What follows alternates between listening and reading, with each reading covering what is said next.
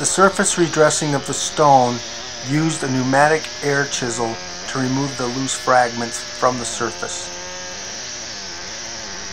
The limestone cracks required a DHL lime injection technique.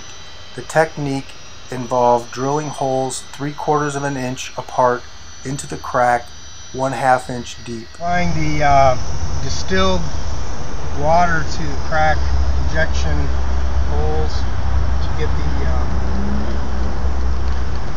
stone soaked down prior to injection. We want to inject or we want to soak down the wall uh, at least an inch and a half on each side of the crack.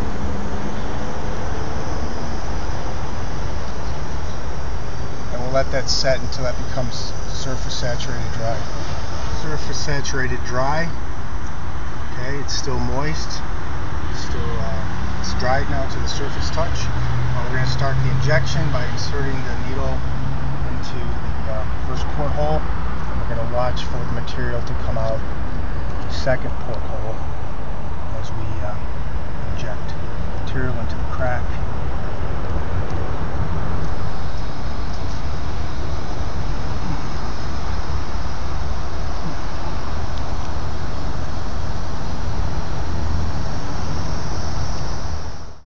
The process of removing deteriorated stone from the surface of the wall requires the use of a pneumatic hammer to remove the stone surface. Just uh, finished removing all the mortar joints out of the wall in this uh, panel on the uh, east elevation of the old cathedral and we're now installing the lime putty mortar uh, in between the stone. You can come in and see I've just uh, finished spraying the wall down. It started to uh, take up the mortar and uh, waiting for the uh, surface to become um, surface saturated dry before I start pointing. There's a little bit of glistening on there I'm going to wait for that to disappear before I start inserting mortar into the joint.